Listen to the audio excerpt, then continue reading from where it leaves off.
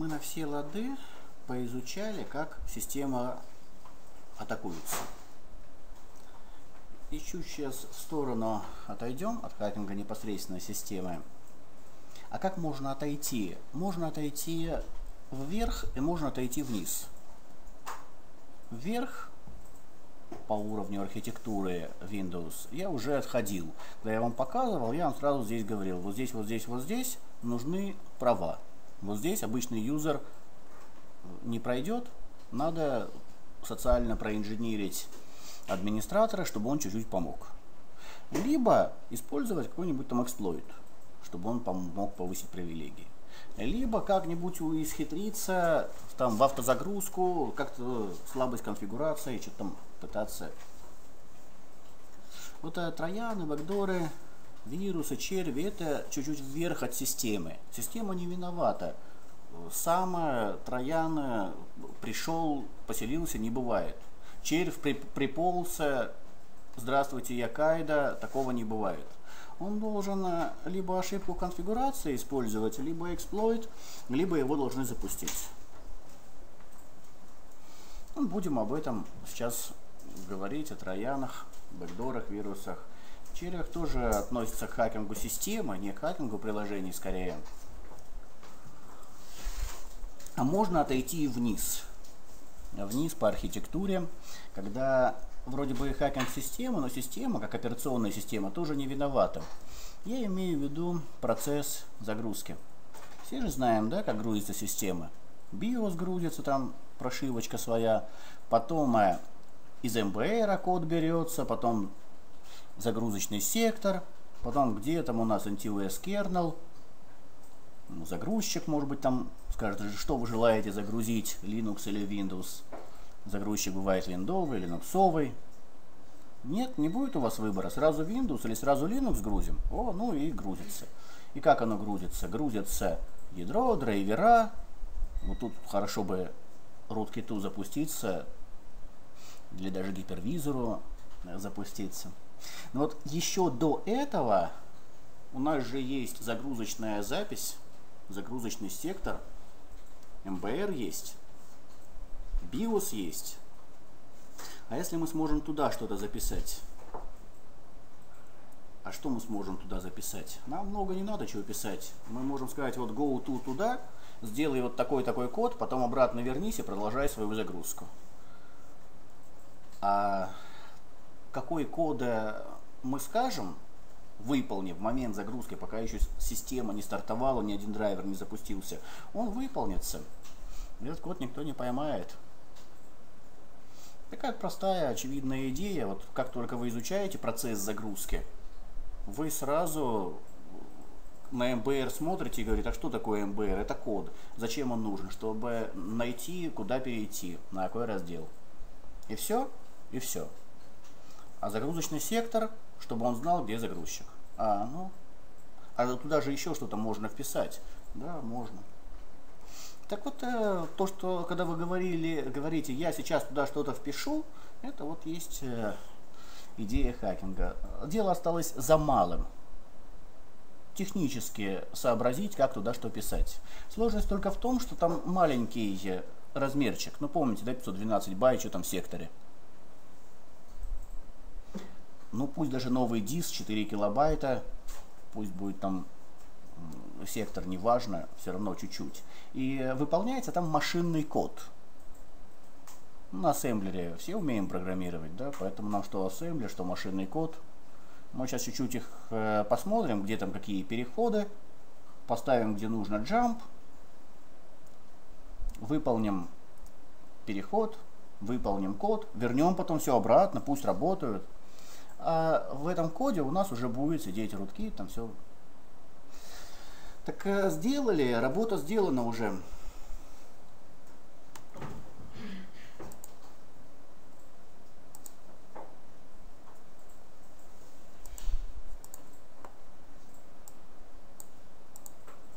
Вот там, где rootkit foo, i boot root. Можете посмотреть какие-то файлы. Даже вот PowerPoint презентация на конференции, докладчик выступает, всю ночь не спал, разбирался. Вот смотрите, на ассемблере код такой, на ассемблере такой. Вот оно вот так, вот так. Действительно, туда можно прописать, действительно, оно выполняется. Ну, конечно, выполняется. Куда же надеяться? Она работает только так, как изучали, когда учили основы загрузки системы и больше никак. Ну, хакинг. Прописал в этот э, сектор кода, какой ему надо. Совсем не сложно.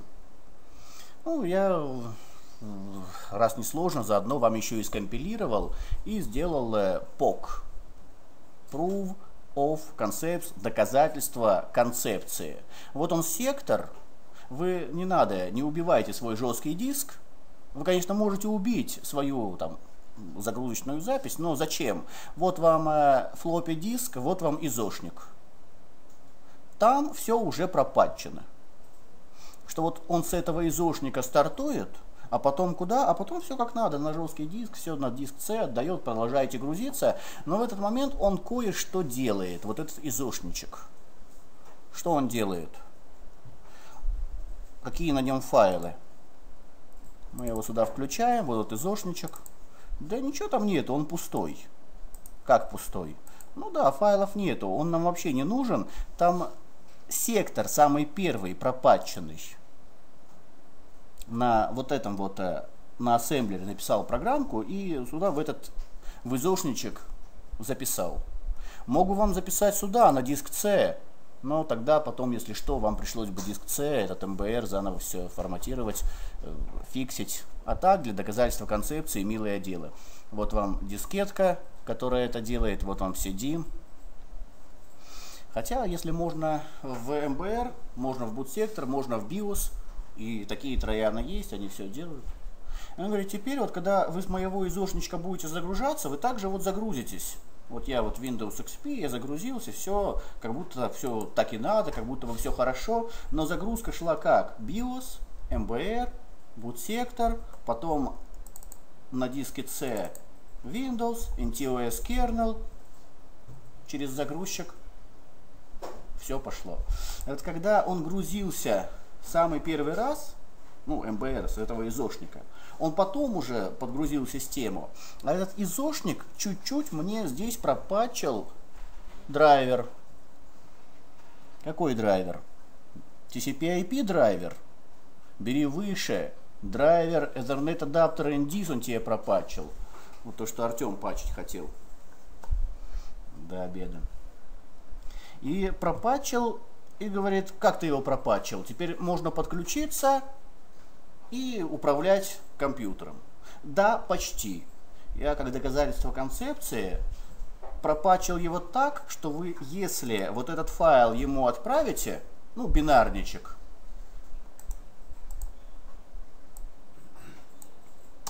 Давай посмотрим, что там. Ну, он маленький, вот такой вот, 16-ричный код. Я сделал так, чтобы там, на этом драйвере, он перезагружался и вылетал. Вот если он такую последовательность словит. Да ладно, я вот это сейчас пришлю на проводах компьютеру, и он сразу в аут все упадет? Да, такое у меня доказательство концепции. Ну-ка проверим, как мы вот это ему отправим. Можно NK там отправить. Э, на вашу, на всякие попробуем. Вот сейчас я демонстрацию делаю, а потом хотите, пробуйте, как хотите. Я говорю вот type и отправь это nk там на этот IP адрес. nk это там же, где nping, nmap, все вместе идет. Видите, да, из своей хостовой машины на эту вот XP, которая была загружена с этим изошником, я отправляю вот этот вот э, содержимое. Ну, так отправляю. Вот видите, тут сетевой адаптер, что-то там э, получает. О, синий экран, перезагрузка. Ну, тут не настоящий троян, так поиграться, не настоящий руткит. Поиграться, вот при загрузке здесь си синенький смайлик будет у вас. То есть он просто доказать, что оно работает. А существуют э, реальные Руткеты, о, может быть увидели, здесь мелькнул такой вот смайлик синенький. они могут сказать, о, нам доказательства концепции не надо, мы, нам уже практическое применение надо. Нам синий экран перезагружаться не надо. Ты нам другой код выполни. Знаешь какой? Вот тебе FTP, вот туда пойди и перед этим все, что там пароли, все, что собирали, там печатали, собери, и нам пришли, мы разберемся. А загружаться будете не из СОшника. Зачем? Мы прямо на диск C в этот э, MBR что-нибудь там запишем. А то даже раздел на диске под себя создадим, если что. Представляете, да, какая ситуация? Вы ловите такой троян, который так прячется от вирусов, вы говорите, ладно, я не буду ничего восстанавливать, вот у меня есть акронисом образы сделанный, я его просто восстанавливаю, весь диск C, всю партицию я восстановлю. Да, восстанавливаете, оно в MBR сидит. Как спасаться? Ну, leave CD, fix boot, fix MBR, знаете команды, да? По счастью, код, который в МБР, не секретный, все знают, какой он должен быть, его можно исправить. Уф, пронесло. А если эта гадость запишется в BIOS, о, все, перепрошивайте BIOS. Не умеете перепрошивать BIOS? Ну, перепокупаете BIOS, материнская плата. И переустановка системы уже ничего, это уже где у вас э, сидит Троян Rootkit, Э, где оно сидит э, вообще в BIOS, система не виновата. Хоть Linux туда ставьте, хоть Unix, хоть Windows, э, заразился-то не файл, заразился диск на своих загрузочных секторах. Такая вот интересная... Вирусы же современные, там защита от вирусов. Mm. А вот UEFI еще скажите, вот Windows 8 для того и сделали. А для чего же сделали, если не...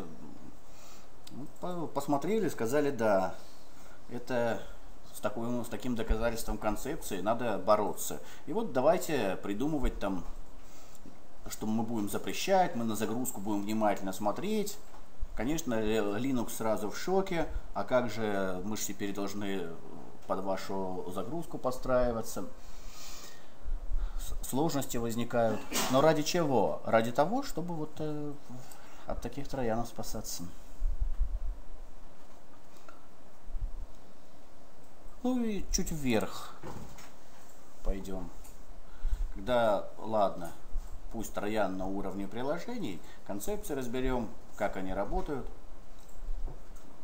Ну, троян это программное обеспечение, сервер или, если реверсная клиентская часть, которая взаимодействует с компьютером-хакером по специальному протоколу, может даже RFC есть для такого протокола, и по этому протоколу передаются управляющие команды. Они бывают смешные, мол, мышкой поиграй, сидеромом поиграй. А бывают и такие, давай мне файлы, наоборот, вот тебе файлы. Чтобы это все не светилось, скрытые каналы используют трояны. Может быть, тут mail сделают, может еще каким-то трафиком притворяться. Зачем? Для удаленного управления компьютером и для того, чтобы оттуда информацию получить. Что они ищут – если в реальности, не в лаборатории, не для исследования, в основном финансовую информацию, какую-то деньги поворовать с компьютеров, серверов. Какой показатель, что у вас троян не сидером открывается, закрывается? Не, не показатель. Это раньше были игрушечные такие трояны, которые сидером вам открывали, закрывали. А сейчас э, у него сделать свое темное дело и убежать. Но поскольку Троян это сервер или, если он реверсный, он клиент, у него всегда будет коммуникация. Вот а по порту можно понять, что это Троян. А еще же ему нужно автоматически загружаться, значит он в автозагрузку куда-то пропишется в реестре. А потом ему надо физически на диске находиться, значит он где-то на диске в виде файлов будет находиться. прочим, а, я сталкивался на работе с таким программным обеспечением, когда ты включаешь, то есть он обнаруживает WinBackup, когда ты пытаешься прослушать просто соединения, которые идут у тебя, он просто никакой активности не создает. То есть он видит установленный WinBackup, что ты его запустил, и он, и он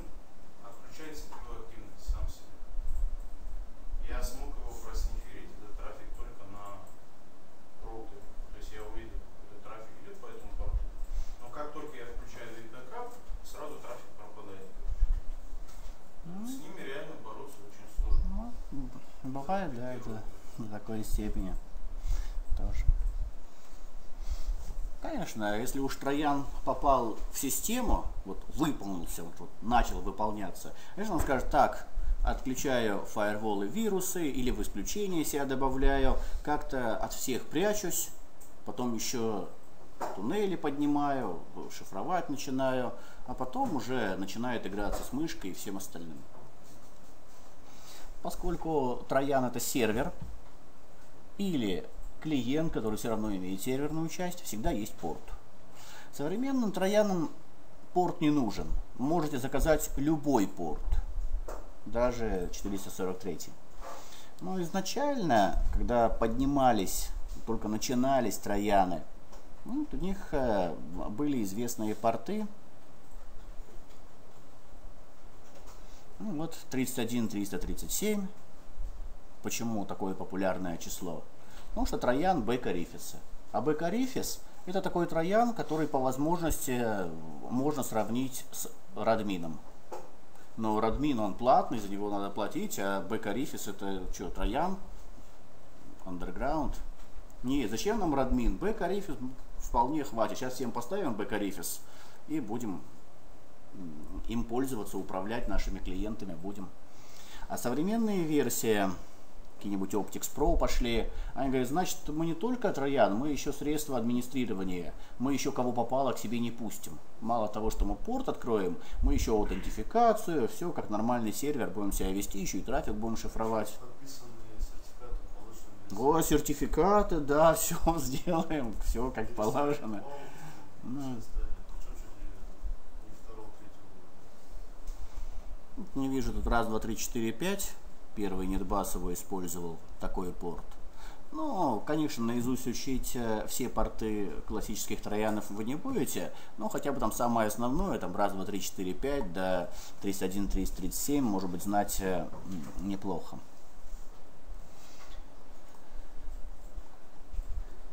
Как троян запустится? И скажет, подключайся, хозяин, администрируй, я тут вот твой Хи4 GetAdmin, который по сети, если посмотрите в тулсах, там, в, где Хи4, рядышком лежит, и сетевой аналог, мол, я такой же сервис, но я не локально буду просить пользователь повысь привилегии, я буду порт открывать и слушать, кто ко мне подключится, вот так вот буду. Вот как все-таки сделать, чтобы администратор это запустил? Запаковать сделали троянчик, а потом его завернули с какими-нибудь шахматами. И когда программа запускается, играются шахматы, но вместе с этим играется и в коды трояна. Здесь какая сложность? Если есть антивирус на компьютере, то это должен быть совсем свежий, новенький, неизвестный ни по сигнатурам, ни по эвристике коды. Его надо писать. Сложненько. Да потом он пожил недельку-другую. Тут же все увидели, что есть такой зловредный код. Тут же его распарсили, определили, сигнатуру написали. Все, Касперский на коне, а за ним остальные подтянулись мы, у нас тоже сигнатура, все ловится. Вы можете наслаждаться этим только месяц. Как бы воодушевить пользователя, чтобы он отключил антивирус? Ну, давайте скажем, что мы какая-нибудь хака-крака, которая кейген, которая патчит какой-нибудь софт лицензионный. Вот, хотите играть в игрушку? Хотим, она платная. О, платная не хотим. Но если поставите вот такой патч, то будете играть бесплатно. О, так хотим. Антивирус говорит, что это вредоносное программное обеспечение. Конечно, вредоносное, она же платная программа. М-м-м, тогда нет, тогда она не, не, не вредоносная, тогда пускай. Такую вредоносную деятельность я допускаю. Отключаю ради этого э, антивирус, не пускай, не обязательно это хака крака, она мне нужна. А это не только хака крака, которая реально, может быть, вам что-то там пропачит, действительно что-то сгенерирует, она при этом и коды выполнит. Ну, если она выполнит коды, то там, конечно, впереди бежит э, rootkit, который скажет, теперь я буду работать, буду прятаться, потом еще куда-нибудь пропишусь, вы, главное, меня опустите хоть чуть-чуть. А дальше я уж там разберусь, как прятаться и что дальше делать. Главное, антивирус э, сразу установи. Ну, вот а, так он попадается. Значит, есть то, что хотят запустить, плюс довесочек. О, это, наверное, очень сложно объединить две программы в одну. Может быть и сложно, но не очень, потому что существуют такие программы, которые объединяют э, все, что угодно вместе. Хоть скрипты с экзефайлами объединяют, хоть э, экзефайлы с экзефайлами объединяют. Вот у вас есть легитимное программное обеспечение, которое выполнит пользователь. Есть троян, он объединился. Ну, антивирус тут уж э, то ли он будет э, не знать, что это троян, то ли он сознательно будет отключен. Ну и вот такие вот интерфейсы. Уже все написано трояны, уже все есть, да у вас на диске они есть, и в командной строке, и графический интерфейс имеют. Вы запустили, и открылся канал. Это может быть просто порт новый открылся, а может быть и по-другому. Потому что не обязательно Троян тупо открывает порт и говорит «Ура, я сервер». Он может так не делать. Он может э, подключаться сам к компьютеру хакера. Реверсный Троян может быть. Более того, он может не сам туда бежать. Он может не сам бежать на сервер хакера. Он может попросить службу сделать это. Например, есть такая служба BITS, Background, Intelligent, Transfert. Через него обновления грузятся. Скандал-то какой с пункта свичером, с Яндексом. Да, вот в Гугле напишите пункта свичер, сливает информацию на Яндекс. Мы его поймали. Как вы его поймали? А вот он вроде бы переключалка, а потом если за ним проследить, ну, собака такой через этот битс на Яндекс информацию передает. Яндекс сказал, нет, нет, нет, мы ничего не собираем, это там статистика, это он просто так обновление смотрит, ничего не делаем. Но на всякий случай вы можете зайти в профиль, там дат файлики эти увидеть, удалить, тогда да, он не будет ходить. А так по умолчанию ходит, стучится, что-то отправляет, при этом не пункта свитчер, нет, битс это делает. То же самое и Троян может делать. Он может как угодно туннель делать, хоть SSL, хоть SSH, хоть через службу какую-то, так, чтобы максимально незаметно присутствовать в системе и постоянно поддерживать доступ. Главное, запустите. По e-mail вам его пришлем, через чат, через ICQ. Вы скачаете с какого-нибудь сайта, через ActiveX к вам приедем, через э, веб-сервер. Есть масса способов, как развернуть трояны, социальная инженерия тут прежде всего. И какие они бывают? Вообще всякие бывают, командные строки, ICMP трояны, HTTP. Мы вот сейчас с ними разберемся и даже потрогаем. Вот самое простое, элементарное, чтобы вы понимали, что такое троян, это троян командной строки, вот тот же самый netcat. Netcat, который идет в спарке с nmap. Здесь у меня компьютер. Вот я сюда поставил nmap. И тут же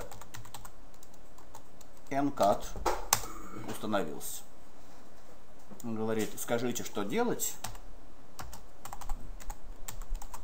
Да, вы, конечно, можете пойти мне в Addition, зайти в Additional Hack Tools, там есть NC, классический netcat, пойти куда-то скачать его еще, но зачем? Если Nmap, функционал NCAT вам предлагает, даже синтаксис такой же, даже еще лучше, чем настоящий NCAT. Э, есть еще CryptCat, который шифрует трафик. Но тот NCAT, который идет э, вместе с Nmap, он SSL умеет, видите, все нормально. Ну хорошо. А что ты умеешь э, в плане того, чтобы прослушивать? Вот ключик L. Видите? Могу слушать входящие подключения. Какой порт будешь слушать? Любой порт буду слушать, даже давай 443 буду слушать, как будто бы SSL. Да, это, конечно, не SSL, это тупо 443 порт. Любой, кто будет его сниферить, скажет, никакой это не SSL. Это не пойми, чего тут открыто SSL притворяется. Ну, чтобы через простые фаерволы проходить, вот так можно. Хорошо, слушай 443 порт. И что? Ну и все, просто слушаю. А если кто к тебе подключится? Ну давай, как будто бы ты будешь телнетом. Ну, телнетом не интересно, я тогда установлю и телнет сервер. Давай круче поступим. Не телнетом будь, а запусти командную строку. Вот так вот. Е.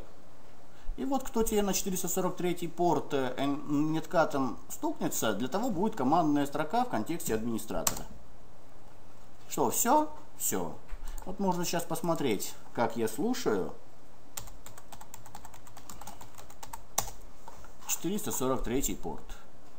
Кто это такой слушает? 2908 это слушает. Task list 2908 2908 у нас слушает NCAT. Но мы, конечно, сейчас фу запустим и э, спрячем его.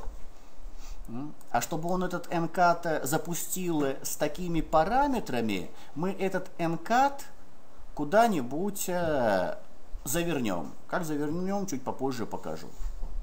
Вот теперь э, тут у нас тоже есть NCAT. А? Он говорит, куда коннектиться? Ну, подключайся вот сюда. IP-config, вот 10.5.11, 91. Давай. NCAT. 10, 5, 11, 91, 443 порт. Здравствуйте. Чего надо? Хочу посмотреть конфигурацию. Ну, 10, 5, 11, 91. Да, слушай, это же не мой IP, это же твой IP. Host name. Да, вот тичеры 7 я нахожусь. Так это что, у меня shell туда? Да, туда бесплатный shell.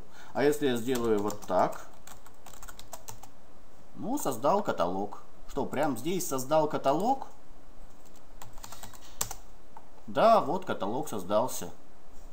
Ну и дальше все, хакинг кончилось, началось администрирование. Что вы в командной строке? Умеете файлы копировать, умеете что там переконфигурировать, сервисами можете управлять из командной строки.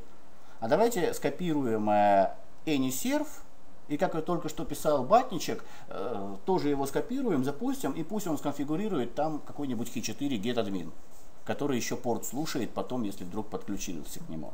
Или давайте там еще что-то сделаем. Вот, э, пожалуйста, главное, запусти мне вот эту вот. Ладно.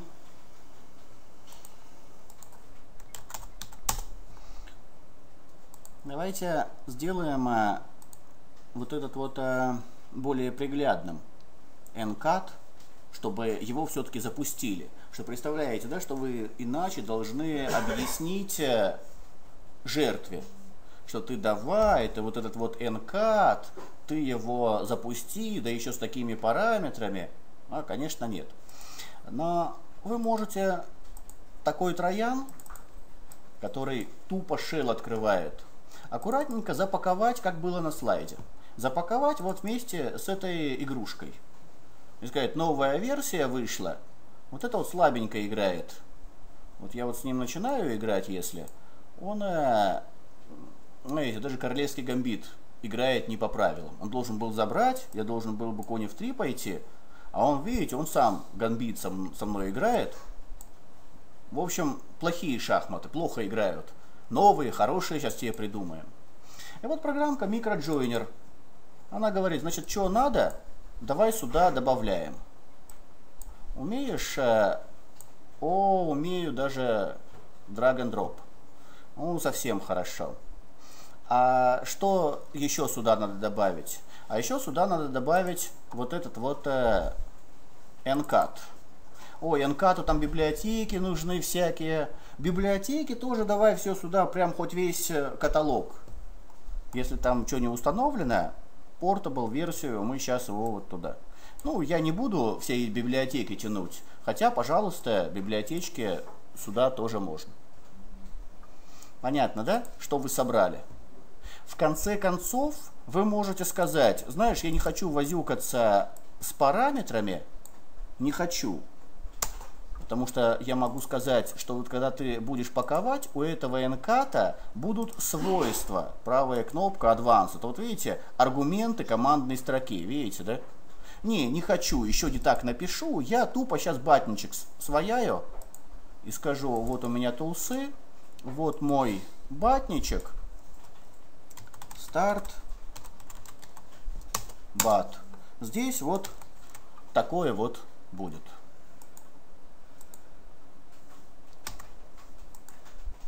Его тоже можно туда записать. Но если я уж батничек сюда записываю, тогда я сразу скажу, значит так, ты мне NCAT открывай, и плюс еще в сервисы, и плюс еще давай мне пользователя попробуй создай, давай администратора меня сразу, RDP мне включи, и firewall сразу тоже выключи, а, да? Мы же можем из командной строки там firewall выключать. Но прежде чем открывать порт, пишем нет shell, firewall, set, op, э, disable.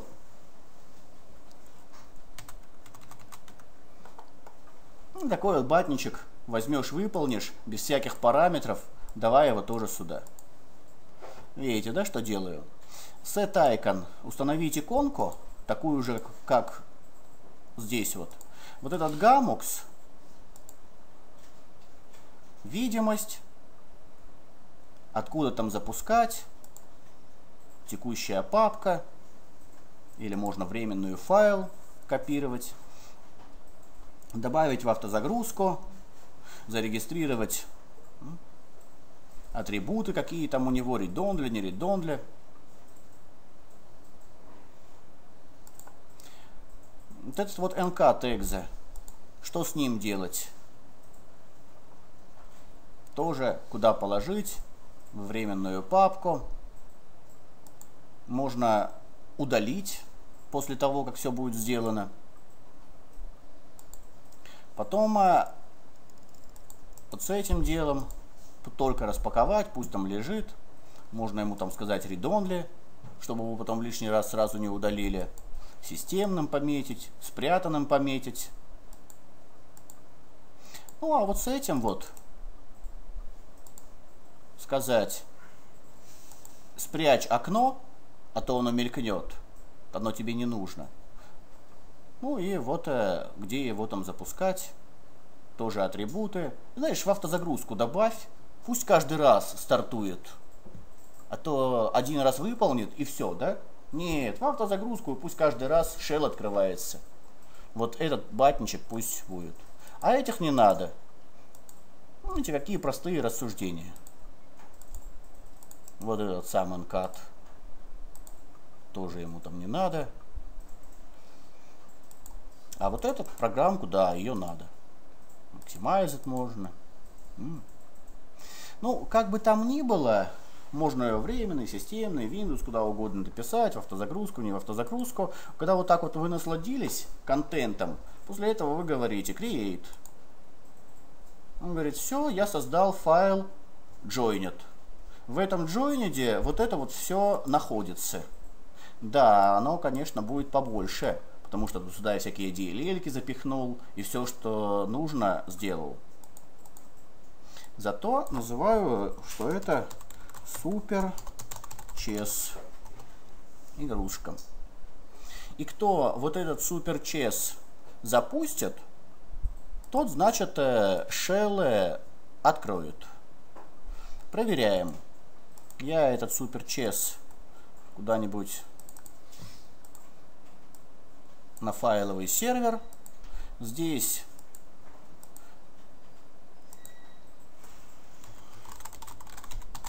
кто-то из любопытных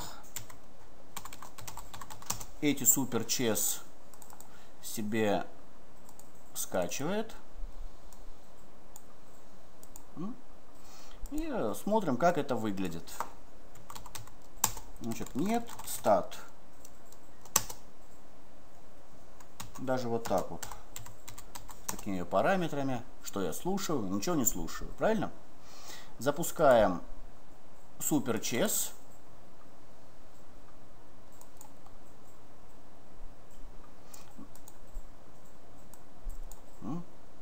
Здесь он может чего сказать? Он может сказать, все-таки не хватило там мне библиотек, там еще вот чего-то, не та версия NK-то, да? Но shell он мне все-таки, смотрите-ка, открыл. А кто? 14.12, кто у нас открыл shell? Нет cat, открыл shell. Ну, поэтому уже я могу гаммукс спокойно закрывать. Уже все. NCAT сидит в процессах. И что делает? Слушает 443 порт. На предмет чего он его слушает? Что администратор, который так вот его науськал запустить, на этот э, IP, ну, Teacher XP, 10.5.11.74 будет подключаться 10.5.11.74 и скажет, ты ко мне подключался? Подключался. Теперь я к тебе подключаюсь.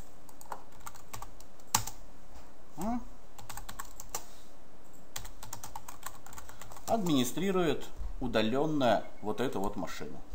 Проверяю, правда администрирует? Правда администрирует.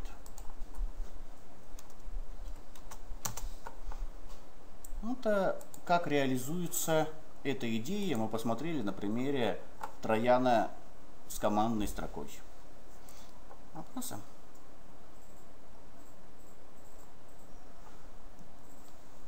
Нет, кат, открывает shell. Ну а теперь давайте что-нибудь такое красивое, с графическим интерфейсом, то, что у нас лежит на диске. О, они всякие, и такие, и такие. Biodox, Bifrost, BIS, Прорат. Какие угодно. Ну, ресторатор я бы не сказал, что это Defacement Троян. Ну, позволяет э, DLL-ку подменить, и вот вы открываете калькулятор, а у вас тут что-то изменилось. Но такой эффект легко достичь. Либо DLL-ку пропатчили, либо в реестре что-то поменяли. Deface может быть не, не очень. А вот создать э, то, к чему потом можно подключиться и хорошо рулить и не только и шеллом, это вот пожалуйста. При этом можно сделать так, что у нас сейчас вся аудитория в эти шахматы будет играть. Если вы все поиграете в эти супер шахматы, я скажу, о, у кого-то 443 порт открыт, ну-ка, я на вас нападу, теперь все дружно начинаем атаковать вот этот сервер, он плохой. И вам говорю, в такое-то время все дружно пингуем 0-day эксплойтом вот туда-то, и вы все побежали, вот оно. Все, кто поиграл в шахматы, вот вам бот-сетка. А или могу сказать, знаешь что, прокси-сервер сделайте. Может быть, у кого-то было время посмотреть всякие прокси-воркбенчи. Да, вы в, в прокси легко поднимаете из командной строки. Пишите утилитку, говорит, все, я теперь прокси. Подключайся ко мне, я дальше от себя буду все провожать. А как же аутентификация? Не-не-не, все бесплатно, ходите через меня, я вот такая простенькая прокси, я никого не логирую, я никого не обслуживаю, я просто провожаю. Ну, тогда совсем хорошо. Вы в шахматы поиграли? Поиграли. Все, теперь через ваш компьютер идет сканирование, атака во всем. Вот видите, VET прокси, Троян Креатор, FTP, VNC, каких только нету. HTTP, HTTP такой, HTTP такой. Вот если предоставляется доступ, он называется RATом. Remote Access Trojan. Туннели могут делать Трояна, вот ICMP клиент, ICMP сервер. Давай не netcat, давай ICMP сервер. Давай. В чем отличие?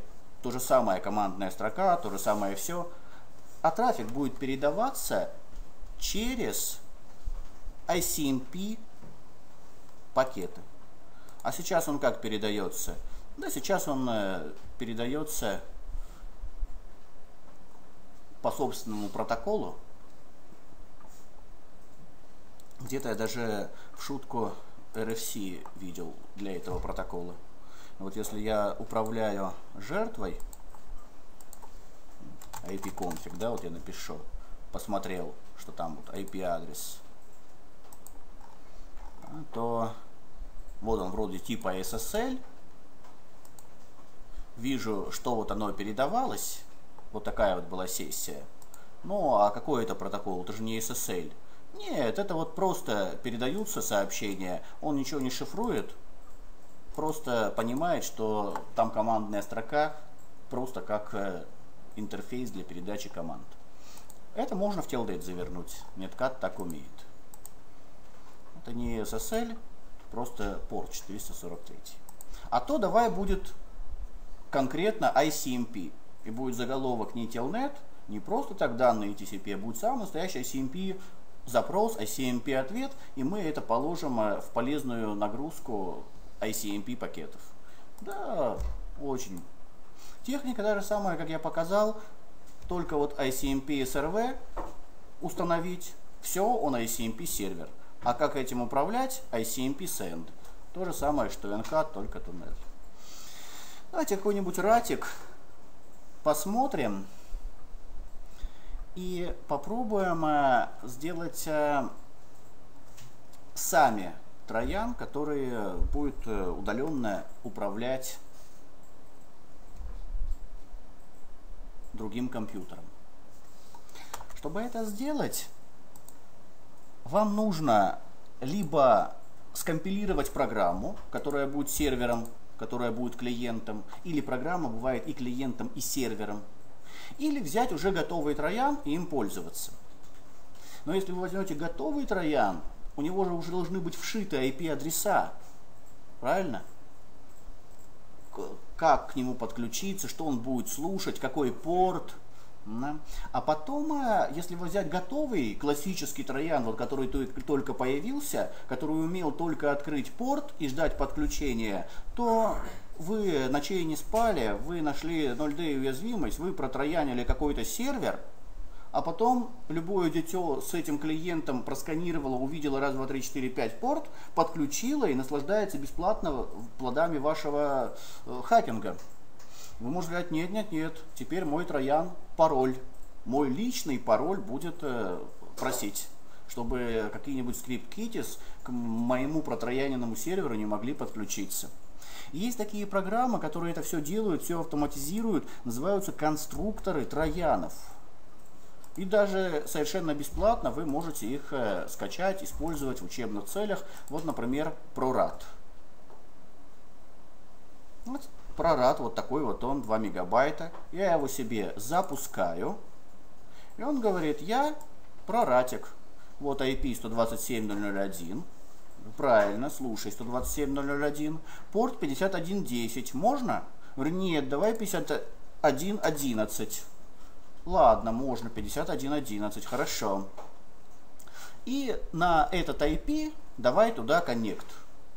Но если так я сам к себе коннект, мне нужен IP жертвы. Вот сейчас я создам такой же супер CS2, и вот кто его запустит, к тому я коннект и буду наслаждаться вот этим функционалом. Что-то смогу посмотреть, там файловый менеджер, час сделать. Но чтобы он этот сервер запустил, куда я потом вот сюда буду подключаться на вот этот порт, я вот э, выбираю здесь Create, создать сервер.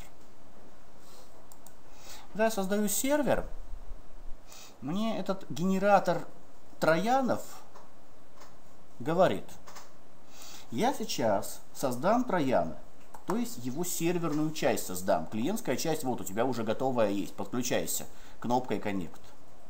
И когда ты обдуришь жертву, и она запустит этот сервер, будет думать, что это шахматы, или еще там что-нибудь, сейчас мы придумаем, что это будет. После этого как ты узнаешь, что он запустил, и туда можно подключаться? Давай он тебе письмо напишет. Какой у тебя email, он тебе email напишет.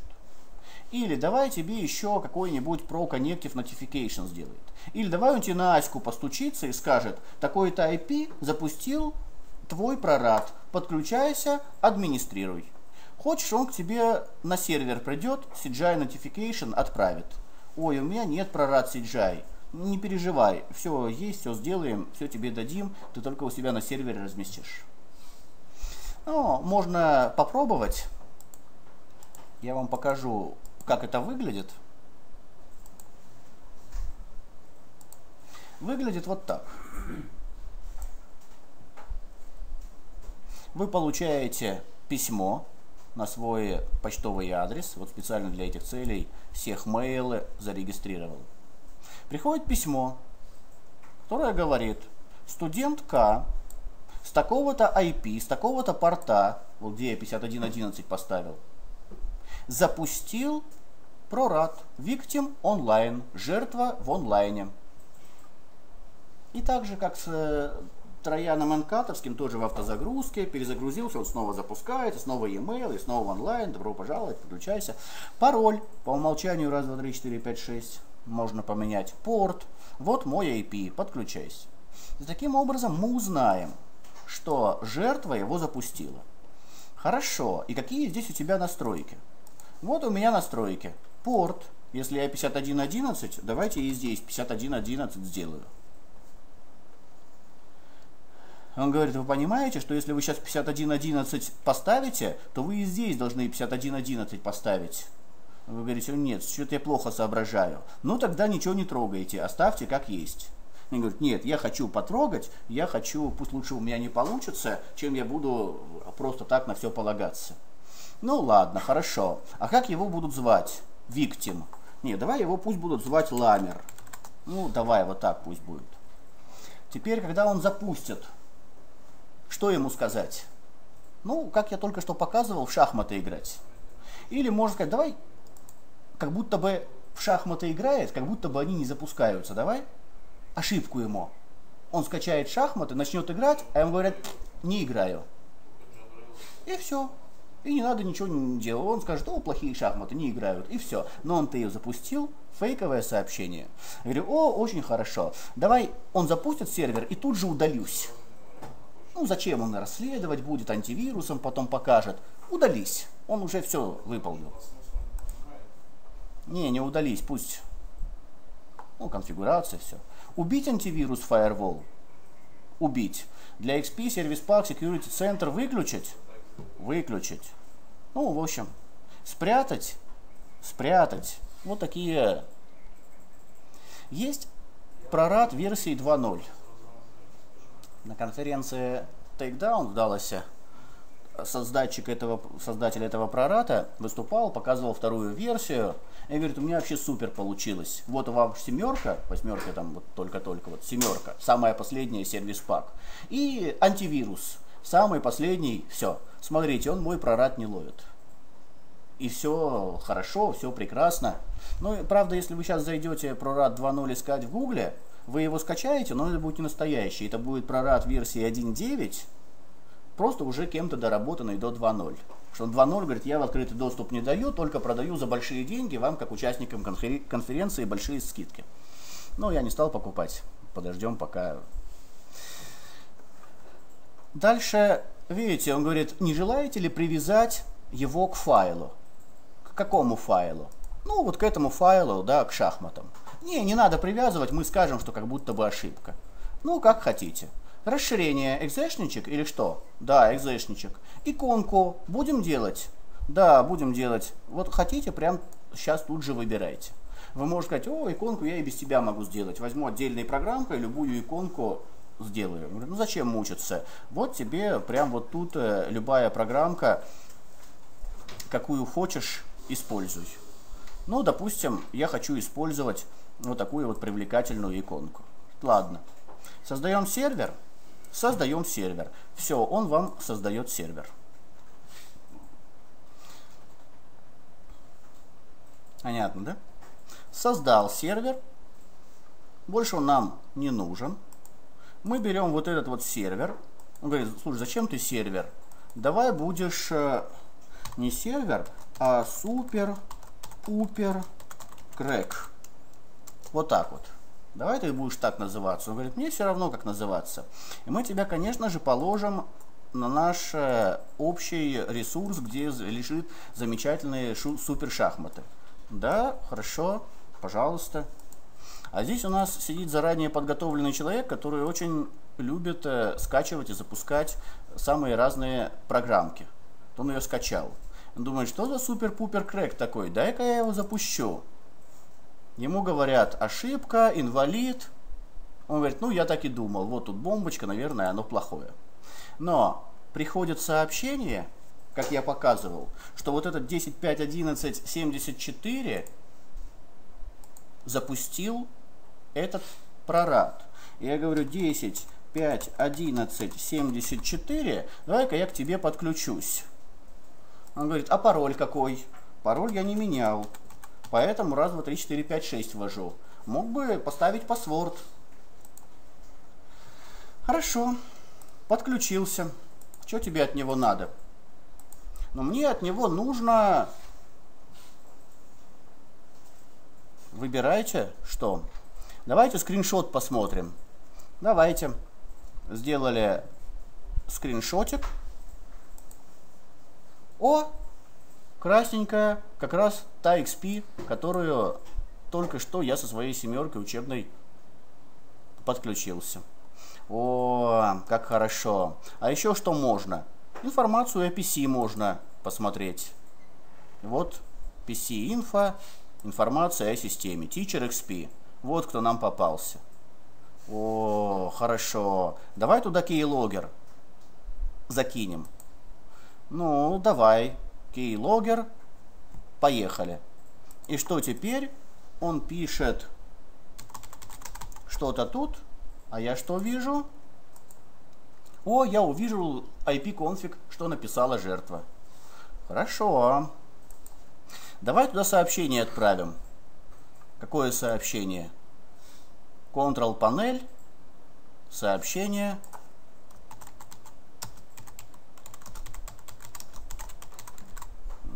Вот так вот напишем. Отправим сообщение. О, пришло сообщение. Вас похакали. Как, что здесь? Он начинает там разбираться. Искать, где процессы. Что тут, как. Где здесь. Кто. ТНК. То с прошлого раза. Открываем нет стат. Где у нас порт 5111. Да, вот к нам подключились, мы слушаем, а то еще и рядышком вот порты уже. И 1264. Кто у нас 1264?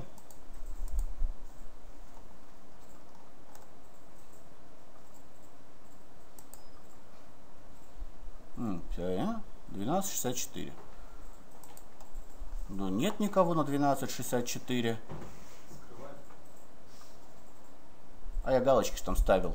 Прятаться отовсюду, помните? О, не надо фу писать. Сам все за нас сделал. Где, какие файлы. Ну и все. Дальше закончилось, закончился хакинг, началось администрирование. Вот замечательная возможность. Есть, например, можно с ним початиться. Давай в стиле Matrix, матрицы. Откроем чат. И вот видите, что у него. Я могу ему писать сообщение. Ну, пользователь вот этого видит. Могу по-другому с ним чатиться. Могу сказать, не хочу такой чат, хочу вот такой чат. Открываю чат пишу ему сообщение. А?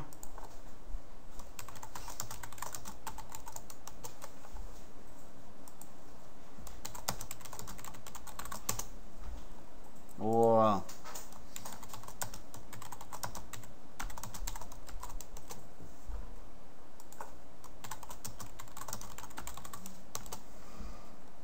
Ну, это такая переписка. Он закрыть чат не может. Я могу с ним общаться. Все, к нему подключаюсь. И вот э, так работает прорад. Но совсем хорошо. При этом можно добавить функционала было бы вот сюда. Какого? Ну, вот такого. А давай-ка ты возьми ключики свои криптографические, слазай в банк, переведи там денежек. Да, есть такие трояны, которые и это тоже делают. Ну, если, э, можно, если уже есть туннель, если уже все, дальше все, только вопросы программирования. Zevs, SpyEye, да, которые именно на краже финансов заточены. Ну, есть трояны, которые там что-то уничтожают, что-то там э, еще что-то там делают, много всяких, и они у вас э, на диске рассортированы. Зайдете в тулсы.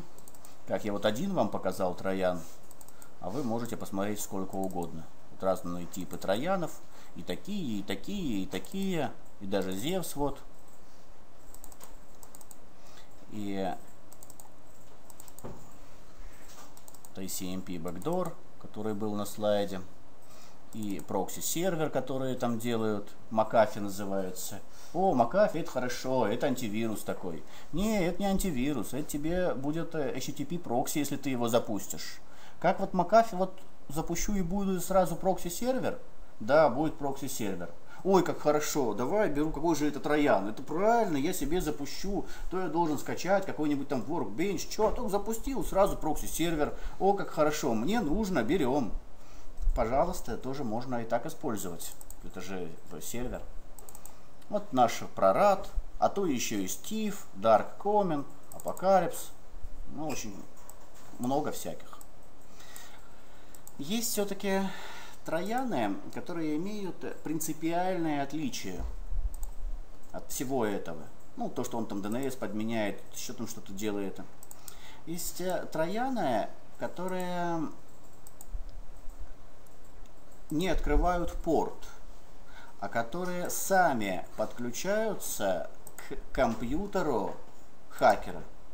Они особенные тем, что вы не можете от такого трояна спастись за натом. Если вы за натом, и вы открыли порт, вашим компьютером могут пользоваться ваши соседи по подъезду. Все, из Америки к вам не подключатся. Вы находитесь за натом. Но с тех пор, как изобрели реверсивные трояны, все сразу вылетело. Сразу вы полностью обезоруженное от всего. Только зашли в интернет, только кликнули, получили такой реверсный троян, и все, ваш компьютер сам побежал к хакеру, и он уже вами управляет, и даже целую бот-сеть строит. Давайте сделаем такой троянчик реверсный. У меня вот здесь вот прорад, но это я должен каждому конкретно подключаться, индивидуально управлять каждым. Это хорошо там для изучения. Теперь, допустим, я так не хочу. Я хочу реверсный троян. Реверсный троян, их тоже много всяких разных. Вот, кстати, про RAD 2, он э, и прямой, и реверсный тоже. И шифрует, и SSL, все. А вот э, Beast, Bifrost, они э, реверсные и тоже разные версии есть. Ну и каждый раз выходит новая версия, все сообщество шумит, о, новый Bifrost вышел, потом проходит неделя, сигнатура добавилась, его начинают определять антивирусы. Ну, нам не важно прям 0D Bifrost какой-нибудь самый актуальный, просто посмотреть, как он выглядит. Смотрите, есть сервер Exe ну, как и в предыдущем случае. То есть он ничего не программирует, ничего не компилирует. Шаблончик есть. Вот этот сервер, то, что будет подключаться к вам, оно к вам подключится. Но вот этот сервер не знает ваш IP-адрес, не знает ваш порт, не знает ваш пароль. А так все готово. Вот он ваш сервер Bifrost, а вот ваш сервер, ваш клиент. Вы согласны, что вы только для себя? Да, конечно, мы реальности не используем. Вот сюда будет этот сервер, кто запустит, к вам подключаться. Хорошо, а оно ко мне подключится. Да? На какой порт? 81 по умолчанию. Может, я хочу 82. На какой IP? Он, естественно, не знает. Вот чтобы этот сервер подправить без компиляции, придумали вот такой билдер, построитель. Ну, есть опции сервера ну, по умолчанию, вот билдер, где он говорит, знаешь что, подключись к такому-то IP-адресу, к моему IP-адресу. Какой у меня IP-адрес? У меня IP-адрес вот такой. 10.5.11.91. Здесь есть тонкость. Если я распространю вот этот сервер, и 10 тысяч компьютеров поведутся, ну, скажу какая-нибудь супер хака-кряка для э, самого последнего офиса и игрушки одновременно. Все тут же позапускают, все тут же ко мне подключатся, я скажу, о, у меня целая бот-сеть, давайте начинаем какую-нибудь атаку, еще что-то сделаем. При этом э, вот этот IP, конечно, у меня будет центром управления всей бот-сети. А вдруг я захочу прятаться, хочу там разные прокси использовать, из одной стороны, из одной, и другую, чтобы не поймали. Сменяю IP, а в сервере будет идите на 10.5.1.91, правильно? Сразу всю бот-сеть потеряю. Так рассуждал хакер, который это придумывал. И говорит, знаешь что, не надо писать IP, пиши DNS. А какой DNS? А, динамический DNS пиши. То есть, я создаю себе зону, в зоне прописываю компьютер, хакер в такой-то зоне, меняю IP динамически, как хочу. Тоже страшно. Меня тут же поймают и скажут, у тебя домен hacker.ru, кто владелец? Ты владелец, ага, попался, ты бот-сеть держишь, ты мафиозом. Существуют сервисы, которые вам совершенно бесплатно могут дать DNS имя, и вы управляете этим IP как хотите. Например, DIN-DNS. Или, например, NoIP. Выглядит это вот так. Вы пришли и зарегистрировались. Ну, зарегистрироваться можно как угодно на любой e-mail, это уже все. Через прокси, естественно, пришли, через анонимайзер, как хотите. И вы говорите, знаешь что, я хочу добавить хост, вот пусть как будто бы всех три utilities.com будет как будто бы 10.5.11.91. Давай? Давай. Видите, он говорит, через минуту будет готово. Можно изменить. Бесплатно 5 хостов можете так иметь. Давайте все вместе дружно проверим, что откроем сейчас командную строку, напишем ping вот этот вот всех три utilities, и видите, да, кто пингуется.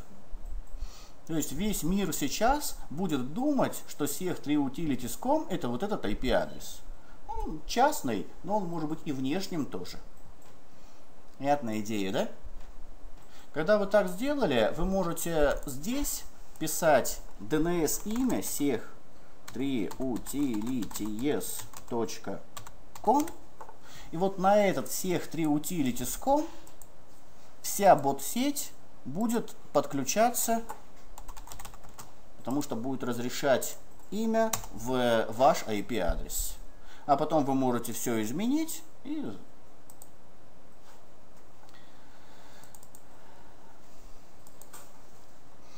ну, это опция по умолчанию 81 порт, MyPass, можно сказать, нет, хочу 82 порт, не моя, твой пас, то же самое форвардиться, не форвардиться, удалять там.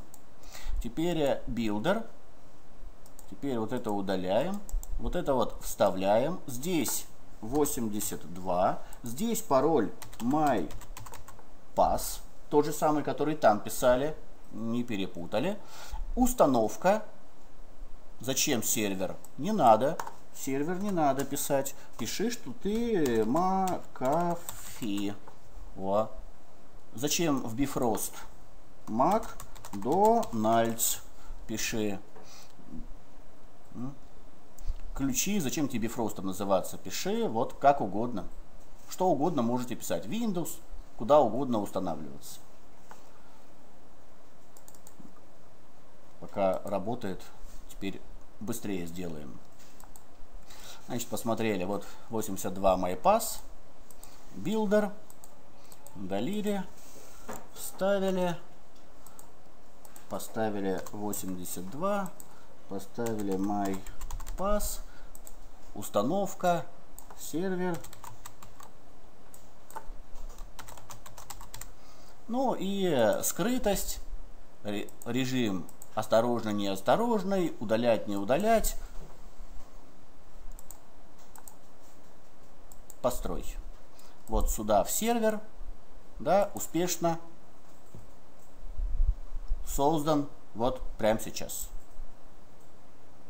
Ну, все, теперь вот мой бифрост, я встречаю, кто ко мне будет подключаться.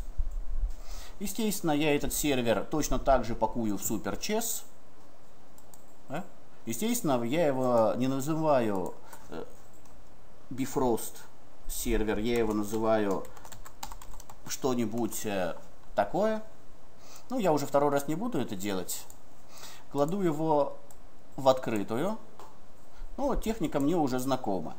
Кто, причем неважно, там XP, 2008 R2 сервер, по-всякому проверяя, он вот этот думает, что это шахматы, он открывает, он там с ними играет, у него шахматы, у него тут все хорошо, а у владельца всплывает сообщение, семерка моя здесь его, что-то глушит его, всплывает сообщение, что кто-то подключился, и здесь он видит, вот teacher XP админ ко мне подключился, а если еще кто-то с мейла, то я здесь и его увижу и его, и его, и его, вы все включитесь на всех 10 машинах, жру, список, список.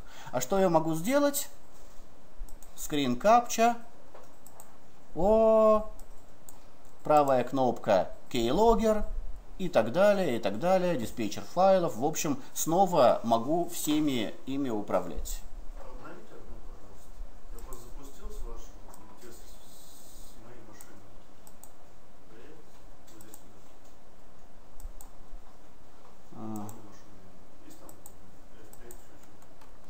Не, он сразу подключается.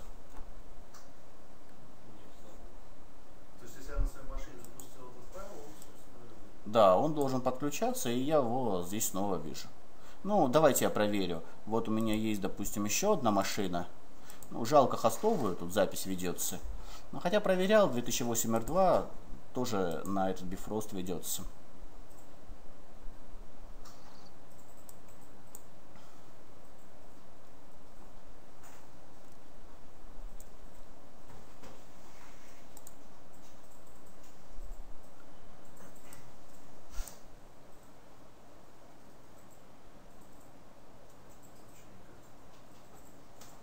Ну, сейчас мы посмотрим, как оно.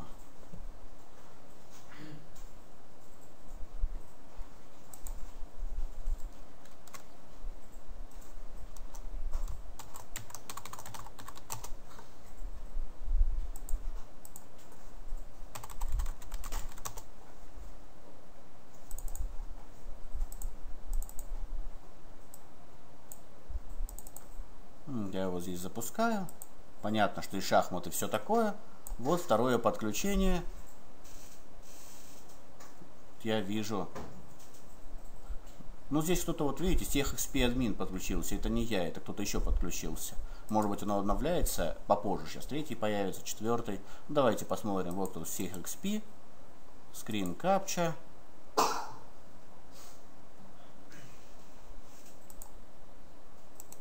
вот так вот. Ну вот третий там кто-то подключился, кто там отключился. Наверное, лучше все-таки не на семерке его запускать. Лучше на каком-нибудь XP, 2003 серии, уж здесь всякие юаки, всякие дефендеры, они могут его глушить. А как э, вообще выглядит, когда вот он только выходит? Ну, можете посмотреть видео, которое у меня лежит э, рядом с бифростом. Ну, чтобы кодек не ставить, мы вот так посмотрим.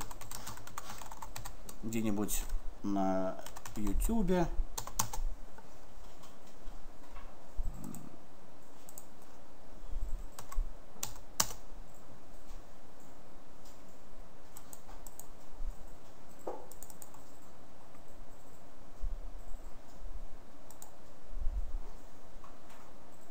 Ну, он говорит, вот я сдал также Трояна.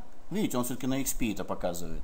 И вот э, со всего мира вдруг все повелись на мою псевдоигрушку. И вот ко мне они подключаются, подключаются. Ну, выложил куда-то, да, вот какую-нибудь экзешку, тоже аккуратненько запаковал, или на сайт положил, чтобы оно выполнялось. Ну, видите, он с разных стран ко мне, вот все, подключаются люди. Я уж, э, у меня глаза разбегаются. Ну, вот бы теперь все выделить, их всех, по ним правой кнопки и сказать, а теперь выполните все команду. Какую команду? Ну-ка, пинг на какой-нибудь там такой компьютер.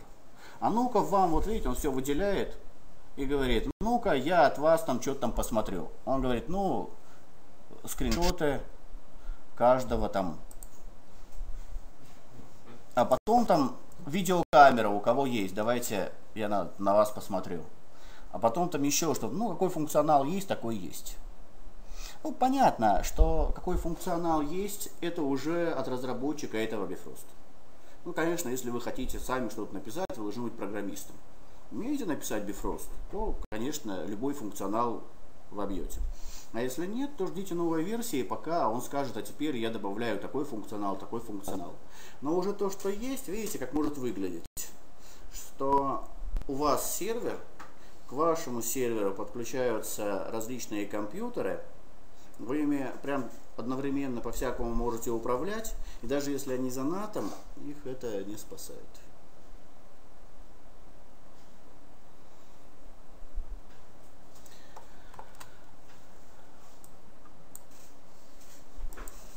Ну, как определить, как защититься?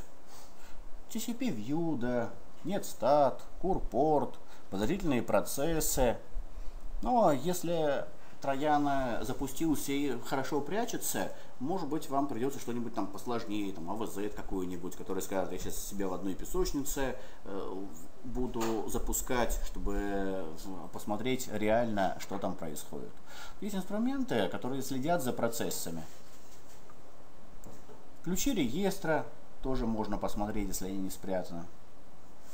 Ну, вот различные инструменты с этим борются, помимо антивирусов, естественно. Вот если вы подозреваете, что rootkit драйвер, ну, драйвер view, хотя можно сказать, зачем, ему с Info32 и так драйверы показывает, но нет, это вот в другом э, окошке показывает, и Nearsoft, не майкрософтовская, тоже показывает, тоже можно вот с драйверами управляться так. Посмотреть, что у нас подозрительного, и определить, что да, нас протроянили, давайте спасаться. Что Microsoft, да и все вот другие, говорят, знаете, что если вы словили трояна, или вирус, или все что угодно, то вот это, конечно, все хорошо, но лучше всего поднимайтесь из бэкапа, восстанавливайтесь вообще с форматированием диска, потому что, допустим, вы поймали трояна, сказали, вот это он, допустим, вы убили этот процесс. Вы же не знаете, что он еще делал, когда заражал ваш компьютер. Может, вам дополнительно еще и прокси какой-нибудь поставил, может быть, еще там что-то пропачил, еще что-то сделал. Вы какие-то следы удалили, а э, какую-то дырочку оставили. Поэтому уж, э, ладно, заразились, так заразились. Ключи реестра, тут авторанс вам скажет, что откуда запускается. Ну, стартер сервер есть, аналог э, авторанса от э, Sysinternals. Ну и много программ, которые показывают, что у вас стартует. Ну, Tripwire, Sigverif, это системы контролируют целостность файлов. Да, конечно, хорошо. Вы можете сказать, ах так, тогда самые файлы, которые серьезные, я сейчас прохэширую и контрольную сумму запаролю. И каждый день буду проверять.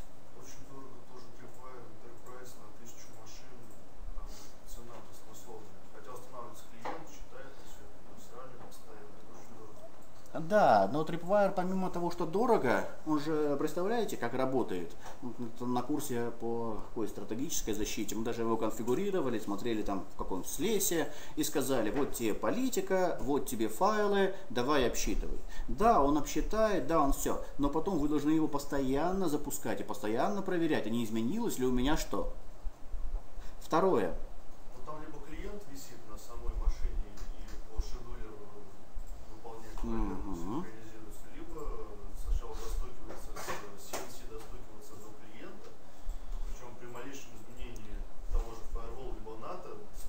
Да.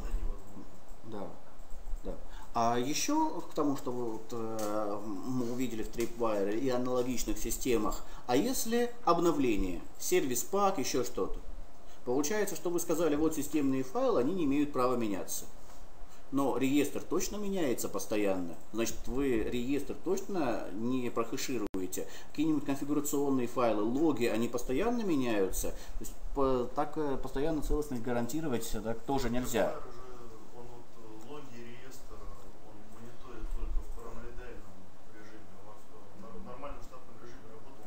Ну, естественно, он э, не может смотреть такие файлы, которые меняются постоянно. Вы можете... Обратно надо стенд иметь. Так Если ты хочешь себе внедрить, то стенд, стенд вообще обязательно.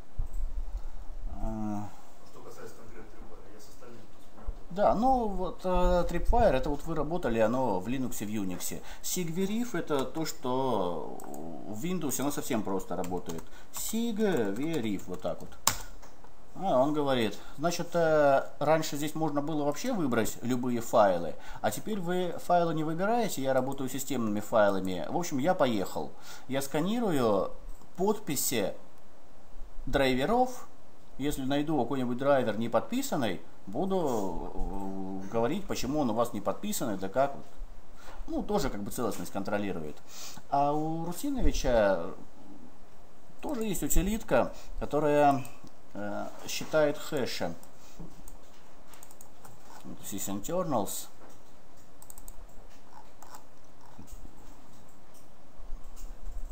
Sig check. Sig. Так, вот мы запустим. И он говорит, ну вот э,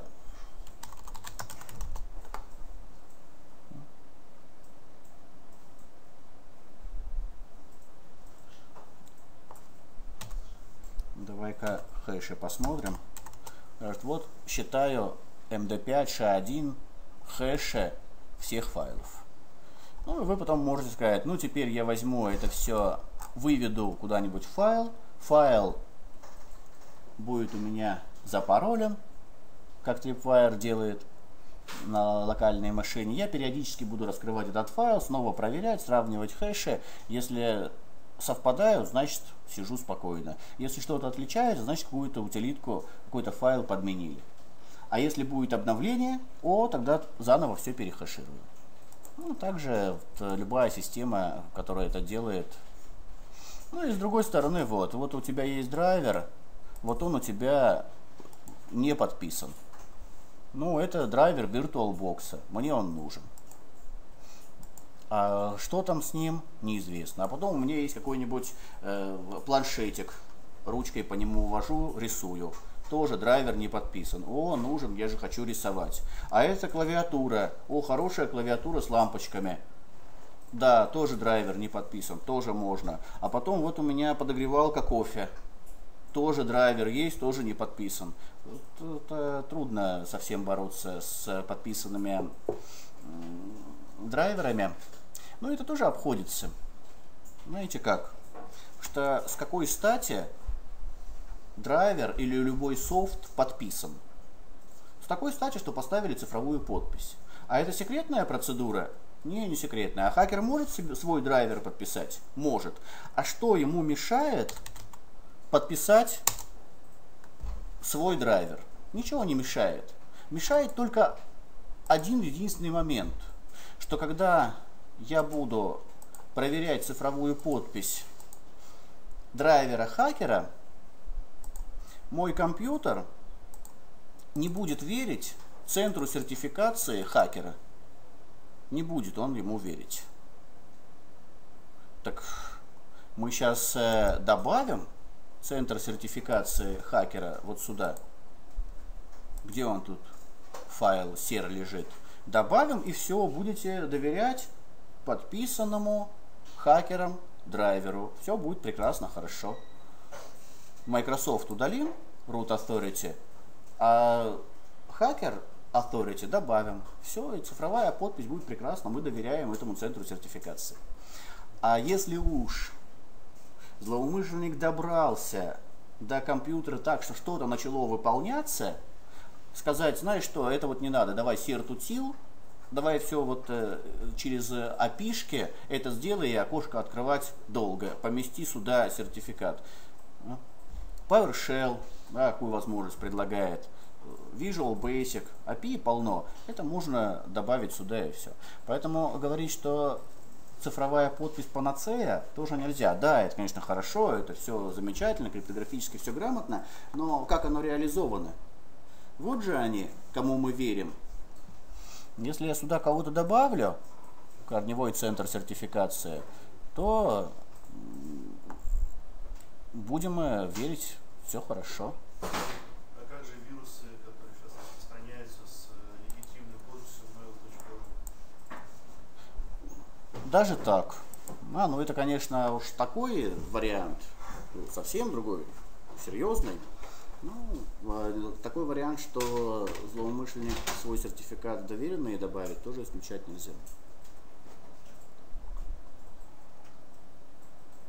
Ну, проверятели целостности файлов, типа tripwire, вот их много всяких.